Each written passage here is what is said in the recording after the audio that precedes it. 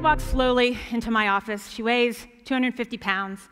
She's five foot three inches tall, and this gives her the diagnosis of severe or morbid obesity. She's tried everything. She's tried lots of diets. She's uh, actually joined a gym 10 times. She's tried resistance training. She's tried um, aerobic training. She has actually hired a personal trainer. She's tried pills and potions and medications. She's even tried acupuncture and hypnosis. And today she actually brings a little pouch of powder. And when she comes in, she hopes that when she sprinkles it on her food tonight, she absolutely will, actually will eat a little bit less food tomorrow. And it's not that Kathy hasn't been successful. Actually, she's been successful many times. She's lost uh, 75 pounds on three separate occasions. But each time, she actually gains it back, bringing her to where she is tonight. And tonight, she's frustrated, she's tearful, and she just doesn't understand why she can't succeed at something that she wants to so badly. When I ask Kathy, why do you want to lose weight? Why is it so important? Why do you do something that seems so futile? She actually looks at me and says, I want to be the mother and the wife that I've always dreamed I could be. Kathy kind of goes through the motion. She's really not able to engage in her life. You know, she has children that she really wants to participate in their life, but she really feels that emotionally, physically, she's tired. The relationship with her husband isn't what it should be. She does go to work, but she just really gets through the day. And she really paints a picture of someone that's just getting by, someone that's just doing the minimal, someone that just is going through the motions. And unfortunately, Kathy is not uncommon. There's 78 million adults across the United States that are currently obese. And what that means to everybody out in the audience is that a third of the adults in the United States today are currently at a body weight that you would call obese. Currently, they're suffering just like Kathy is suffering. You know, a lot of you may be sitting out there and you may be saying, you know, I'm not obese. My family's not obese. You know, is this a problem that really affects me? Should I really be thinking about this? Do I really need to talk about this obesity epidemic? Do I need to be concerned about this battle with obesity?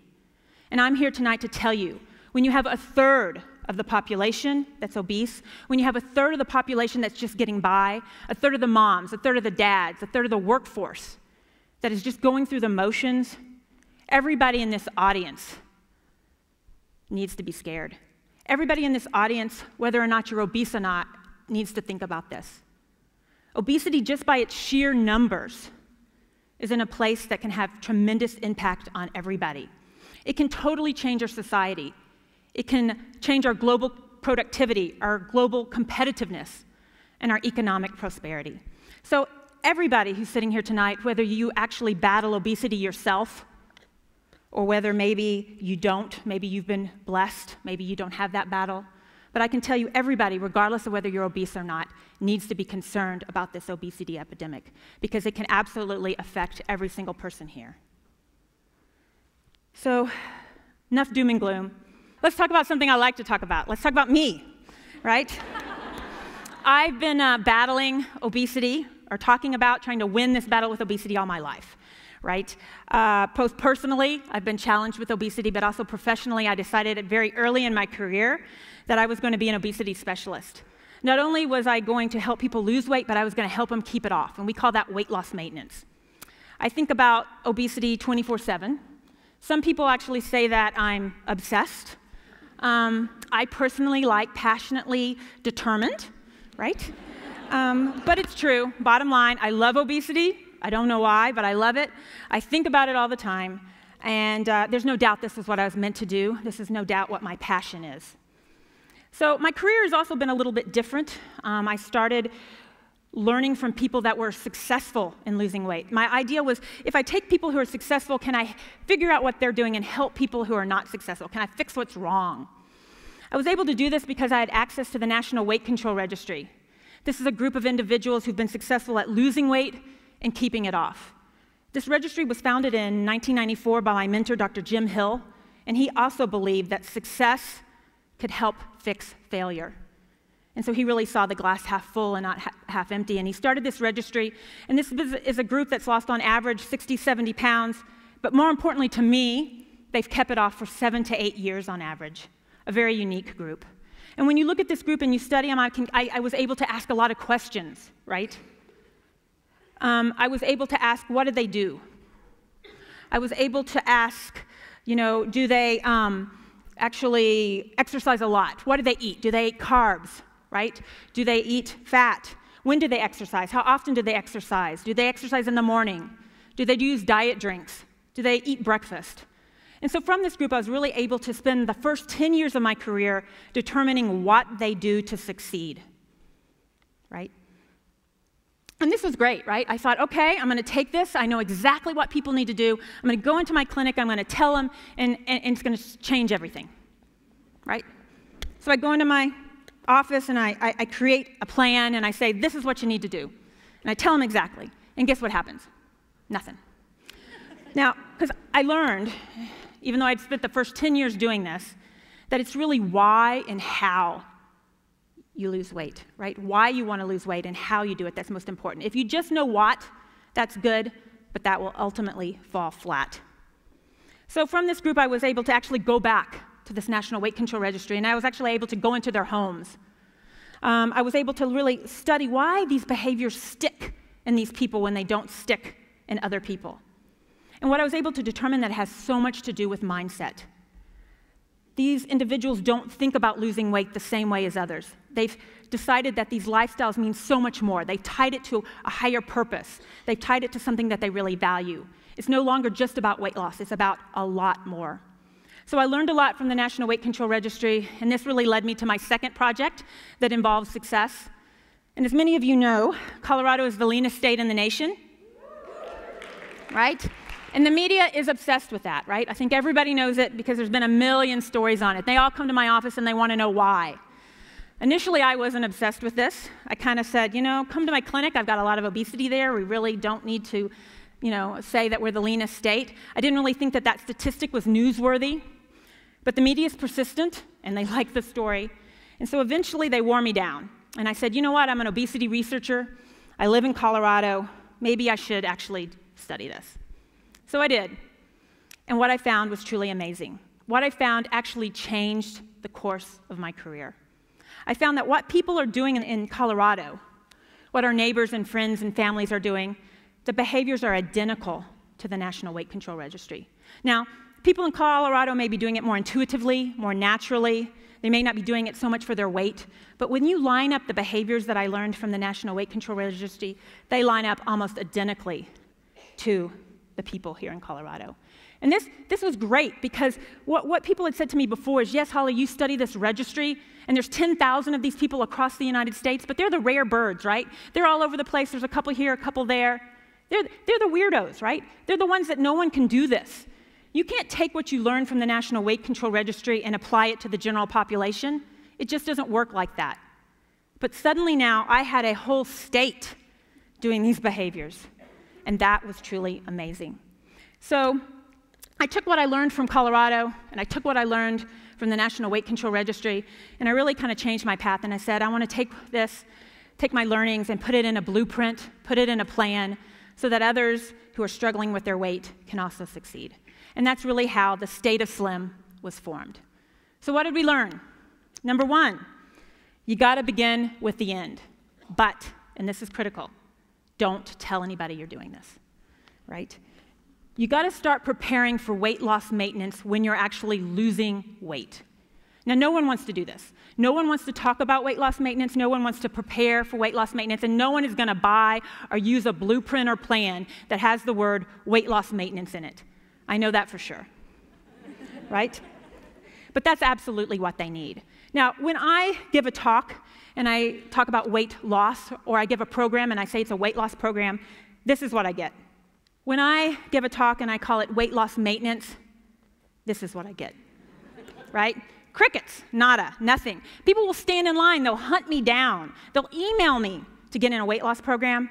They won't even show up for a weight loss maintenance program. And part of this, I think, is because people really like to lose weight, right? They really want to stay in that weight loss period forever. You know, weight loss is sexy and fun, I always say, right? The scale is changing, you get to buy new clothes, and everybody comes up and says, What in the world are you doing? You look wonderful, you're popular. Weight loss maintenance is like uh, watching paint dry, right?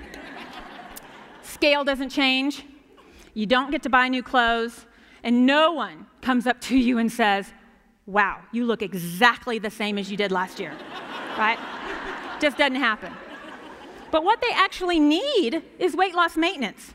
So, what I determined we need to do, and this is what we do in State of Slim, is I give them what they need. I'm sorry, I give them what they want, which is weight loss, but I sneak in what they need. Um, kind of like maybe if your kids don't like vegetables and you might grate some carrots and you might kind of stick it in their food and hope they don't notice those orange sprinkles. Or you take some spinach and you put it in your husband's smoothie and when he says, Why is this green? You go, Oh, I don't know. and don't say you don't do that, because I know you do. Number two, you prepare your body and your mind for weight loss maintenance. And it's your body and mind. And in terms of your body, it's really about getting that physical activity. And what we heard from the National Weight Control Registry, or what we, we studied and found out, is you've got to do 60 to 70 minutes of activity most days of the week. I know no one likes that number, but that's just the number. And that's required to get your metabolism ready, not so you can lose weight. You can lose weight without doing this. I can guarantee you that Kathy lost those 75 pounds. She didn't have to do this activity. But if she wants to maintain her weight after she loses it, this physical activity has got to be there. It creates what we call a metabolic flexibility, and it really allows you to be able to eat and match what you're burning. And it's really essential to prepare your body to be able to succeed. You also got to prepare your mind. And people in the registry, we, we learned a lot about this. We learned a lot that um, mindset is critical so in Colorado, we also have a great mindset. We call it a Colorado mindset. And when I talk to people, they say, we get to exercise, right? We don't have to exercise. When I talk to people in my clinic and I say, here are some of the behaviors we're going to have to do so that you can lose weight and keep it off, you would think that I was making them miserable. They're like, oh my gosh, I've got, to, I've got to weigh every day, I've got to do this activity, and all these things I can't do. This is a miserable life. But in Colorado, guess what? We like it. We're happy, right? Same lifestyle different mindset. The mindset's what's important. Um, you also really got to figure out what is your purpose, and you really got to bind that to kind of what's going on and what these lifestyle changes are. Um, lastly, you've got to make it easy. You know, losing weight is hard. I'm sorry, losing weight is actually easy. Maintaining a weight loss is hard. So you've got to do things that can make it easier in the long run. And there's a couple things you can do. One of these things is called routines and rituals. Everybody knows that I am a potato chip addict. You know, I'm obsessed with obesity and a potato chip addict. I don't know how that goes together, but it does. And one of the routines and rituals I do is that I absolutely never go down the potato chip aisle in the grocery store. I say nothing good ever happens to me on that aisle, right? and by putting that routine in place and by making it a routine and ritual, I actually have helped myself, right? I've made it easier so that I can eat smarter and healthy long term. You also got to work on your environment. The physical environment's important in Colorado. We're very lucky that we have a great physical environment. But you can also create that environment no matter where you live. And your social environment is just as important. The people you surround yourself with are the people that are going to influence your behaviors. When your kids hang around people that smoke, guess what happens? Same thing. When you hang around people that are doing the behaviors that you want to do long term, it gets easier. And yes, it's a little easier in Colorado because we got more people doing it, but regardless of where you live, you can find those people and you can bring them into your social circle. And this prepares you so that you can succeed long term. So, in closing, I want to say, you know, I know not everybody in Colorado is lean, but I do think more people are doing more of the behaviors that are associated with success.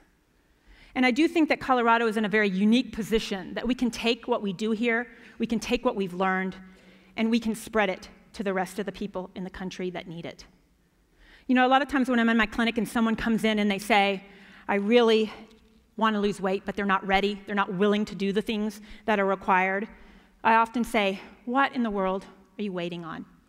And when I go to conferences and I have the, the leaders, the thought leaders in this country, not able to decide on what we should do, spinning their wheels and nothing productive comes out of the meeting, I often leave there thinking, What in the world are they waiting on? And tonight, standing here on this stage in Colorado and in front of an audience that I know understands the power of being able to spread ideas, I think that maybe I figured out the answer to those two questions. Just maybe, perhaps, everybody was simply waiting on Colorado. Thank you.